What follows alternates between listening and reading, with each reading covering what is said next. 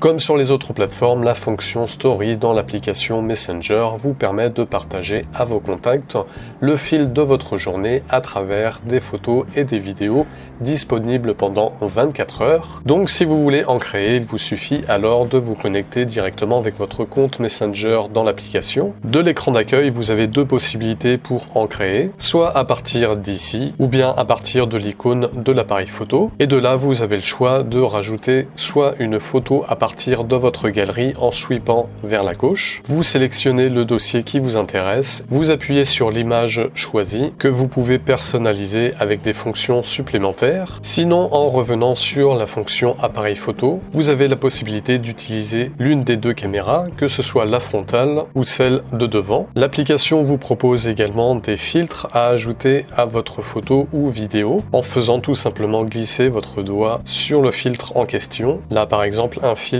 de couleur. Pour annuler vous appuyez sur la croix et si vous souhaitez simplement prendre une photo il vous suffit d'appuyer sur le cercle avec la possibilité ensuite de personnaliser cette photo et si vous souhaitez plutôt enregistrer une vidéo vous restez appuyé sur ce cercle puis vous relâchez votre doigt pour arrêter l'enregistrement. Même chose vous avez la possibilité de personnaliser cette vidéo. Vous pouvez également activer ou désactiver le son pour cette vidéo. Et pour finir, si vous souhaitez la dans votre story, soit vous appuyez sur la flèche, et là vous avez la possibilité soit de l'ajouter directement à votre story ou de l'envoyer aussi à vos contacts choisis ou alors directement dans un groupe. Ou sinon, pour faire plus simple, vous n'avez qu'à appuyer sur cette icône pour que votre vidéo soit rajoutée rapidement dans votre story.